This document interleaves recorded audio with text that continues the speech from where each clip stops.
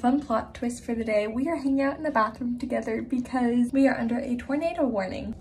All they had to lay on was this bath mat, and when Nala came over and laid over more than half the mat, Gingerbread was not pleased. But they did eventually learn to share. Most of the time, however, Nala was up exploring the bathroom. This is a room they don't usually go in, so she was really curious. But as you can see, Gingerbread just laid around, and I got a lot of sweet gingerbread snuggles.